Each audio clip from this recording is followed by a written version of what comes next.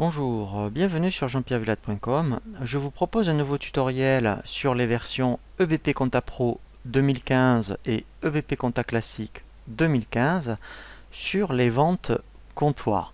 Le principe des ventes comptoirs s'adresse essentiellement aux commerçants où tous les jours lorsque vous clôturez votre caisse, eh bien vous générez ce qu'on appelle un ticket Z. Il faut donc après saisir votre recette avec les différents modes de paiement que vous avez reçus, comme de l'espèce, des cartes bleues, des chèques ou autres, euh, pour que vous puissiez ensuite euh, les saisir dans votre comptabilité et faire ce qu'on appelle les remises en banque. Dans les versions Compta Pro 2015 et Compta Classique 2015, dans le menu Quotidien saisi, vous avez une option qui s'appelle Vente comptoir. On va donc ajouter voilà, ce qu'on appelle un ticket Z, donc c'est la recette à